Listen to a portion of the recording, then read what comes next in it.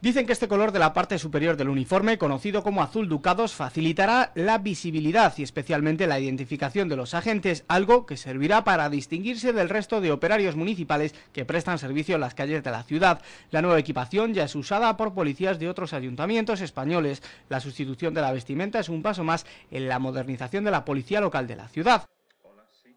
Hoy se presentan nuevas eh, uniformidades y nueva decoración de vehículos que obedecen fundamentalmente a razones de carácter técnico.